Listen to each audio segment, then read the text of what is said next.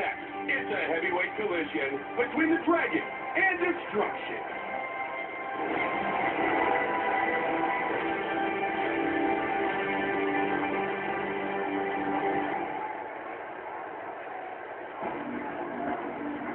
Our Tale of the Tape is brought to you by the only motorcycles worthy of being in the octagon, Harley Davidson.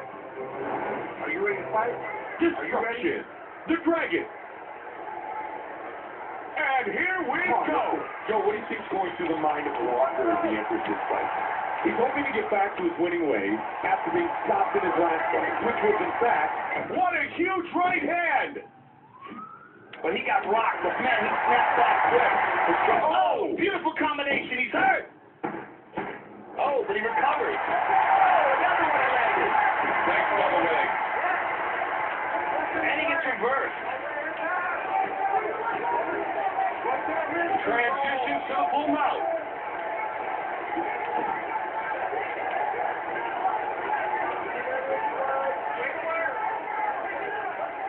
Into half guard. He's in guard here. Pushes him off with the feet. He cycle let him up. Jeff punishing him. Nice left hook.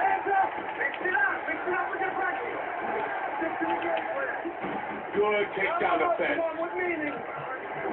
Nice shot, double leg. Losing a half guard. Nicely done.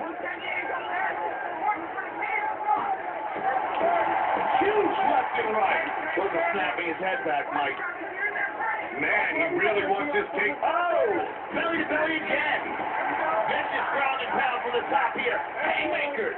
Pushing his opponent away. He left him up. The dragon is bleeding. Now they're going to close it up again, right to the clinch. This is tremendous takedown. To- oh! And again he goes for a ride. Right. Oh, Oh, big shot. Big shots from the top here, Mike. He is staying. It's over. This fight is over. This is ground and pound and the victory. Destruction finishes the fight.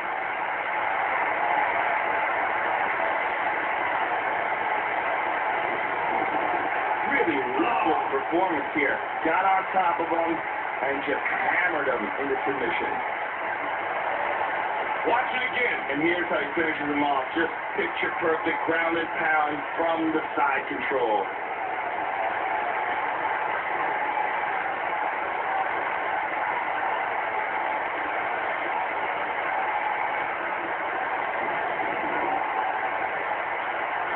Here's Bruce Buffer with the official decision. Ladies and gentlemen, referee Herb Dean has called a stop to this contest at 3 minutes, 20 seconds of the very first round, declaring the winner by TKO Shinji Destruction Walker. Destruction is your victor.